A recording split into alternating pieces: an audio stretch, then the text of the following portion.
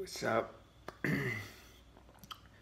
Making this video, um, starting a log to keep my progress in my uh, health journey because I've been diagnosed with a pretty rare disease called pemphigus vulgaris and I have it pretty severely.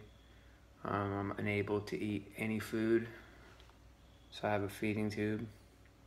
I've had it for about a month now.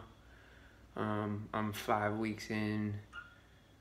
I'm about five weeks into um, all the medications that they've been giving me, and they told me, my doctors told me that it would take four to six weeks to really start to see serious signs of improvement.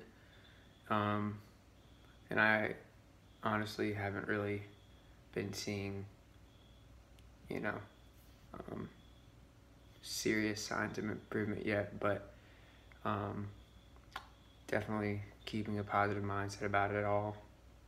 Basically, the symptoms started 11 months ago, um, so I've been dealing with this for um, almost a year now, and it started off that, uh, you know, started off in my mouth as really small, like ulcers, like almost like um, like canker sores in my mouth and uh, as time went on it just got worse and worse to the point where you know I'd be brushing my teeth. Every time I brushed my teeth my gums would bleed and uh, the sores spread throughout my entire mouth the inside of my cheeks under and on top of my tongue along the top row and bottom row of my gums also in my throat.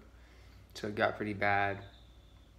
Um, I ended up going to the hospital and they that's when they diagnosed me ultimately. And um, so yeah now I'm five weeks into the proper treatment. And uh, got a follow-up appointment this week on Wednesday to try and get some further assistance because I'm honestly still in kind of a lot of pain when it comes to my mouth. And uh, like I said I'm still unable to eat food. So I'm starting this log, this video log, to track my progress.